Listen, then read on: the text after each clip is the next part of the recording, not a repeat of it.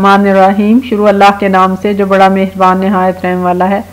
तो प्यारे बच्चों, आज हम कंपेयरिंग फ्रैक्शंस हम फ्रैक्शंस को कंपेयर करेंगे, कौन छोटा है, कौन सा बड़ा है और कौन सा बराबर है।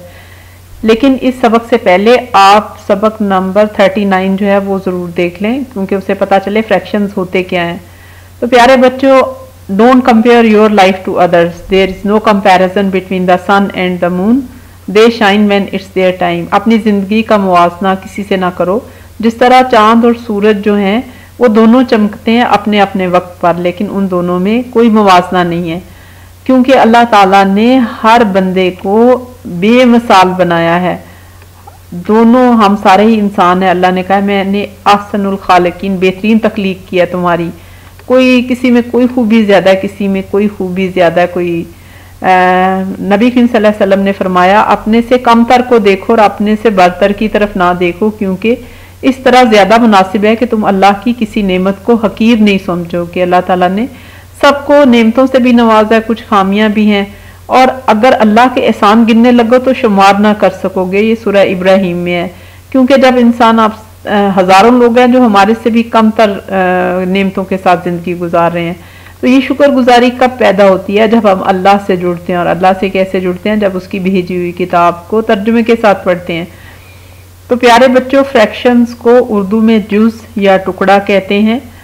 और जितने भी हमने फ्रैक्शंस किए हैं, सब फ्रैक्शंस की कदर बराबर नहीं होती है। All fractions are not same in value कुछ फ्रैक्शंस जो हैं कदर में कम होते हैं और कुछ फ्रैक्शंस कदर में बड़े होते हैं। जैसे हमने नंबर कंपेयर किए थे तो हमने उसमें सीखा था ग्रेटर देन लेस देन और इक्वल छोटा है, बड़ा है और बराबर है। इसकी मिसाल इस तरह से समझते हैं कि अली की अम्मी ने केक को आठ बराबर हिस्सों में काटा और उसमें से सारा एट वन पीस सारा ने एक टुकड़ा खाया।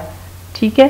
तो हम ये कह सकते हैं कि we can say that she ate one eight of the cake हम कह सकते हैं कि सारा ने केक का एक बटा आठ हिस्सा खाया।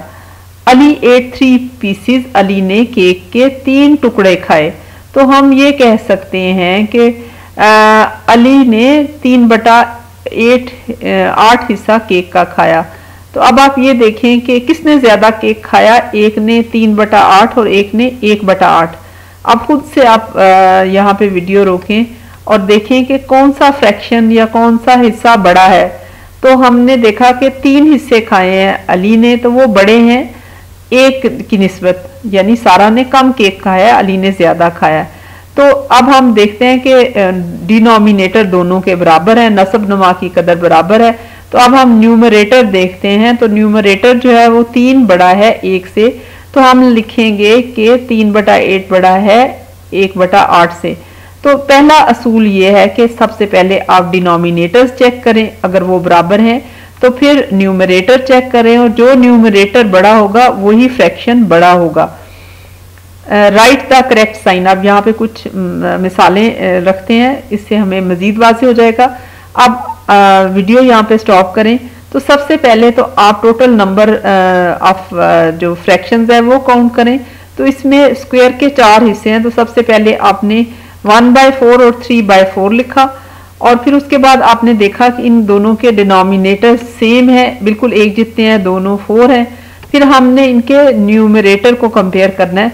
तो उसमें जो है, हमने देखा कि तीन एक से बड़ा है तो जो खुला मुँह होता है, वो हमेशा बड़े साइड की तरफ़ होता है। अब उसके बाद एक और मिसाल लेते हैं, राइट द करेक्ट साइन। उससे पहले यहाँ पे वीडियो स्टॉप करें, कॉपी पेंसिल लेकर इसकी फ्रैक्शंस लिखें। और फिर इनको कंपेयर करें।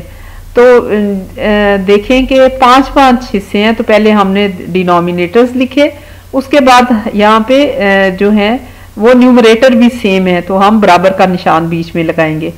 और उसके बाद हम अगली एग्ज़ाम्पल देखते हैं right the correct sign in the middle अब आप ये देखें कि एक दायरा है सर्कल है, और इसमें एक सर्कल में एक हिस्सा कलर्ड है और दूसरे में दो। अब वीडियो यहाँ पे स्टॉप करें।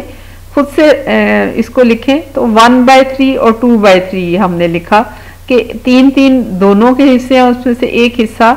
तो अब हम देखते हैं कि डिनोमिनेटर्स आर सेम कि दोनों के जो हैं नसब नुमा बिल्कुल एक जितने हैं लेकिन फिर हम न्यूमरेटर को कंपेयर करते हैं तो two is bigger than one तो आ, हम लिखेंगे बिगर का निशान टू की तरफ़ लगाएँगे। अब नेक्स्ट एग्ज़ाम्पल है राइट द करेक्ट साइन तो यहाँ पे भी आप वीडियो स्टॉप करें और पहले इनका इनको फ्रैक्शंस में लिखें इन फिगर्स को। तो आ, अब हम देखते हैं कि हमने वन ओवर थ्री और टू ओवर थ्री लिखा ठीक है? तो अब हम इनके डिनोमिनेटर्स कंपेयर करते हैं तो डिनोमिनेटर्स सेम है और अब हम उसके बाद इनके न्यूमरेटर्स देखेंगे। तो न्यूमरेटर्स में two is bigger than one तो हम इसको, ये लिखेंगे कि two by three is more तो प्यारे बच्चों, उम्मीद है आपको सबक पसंद आया होगा। इस चैनल को सब्सक्राइब करें, इस वीडियो को लाइक और शेयर करें।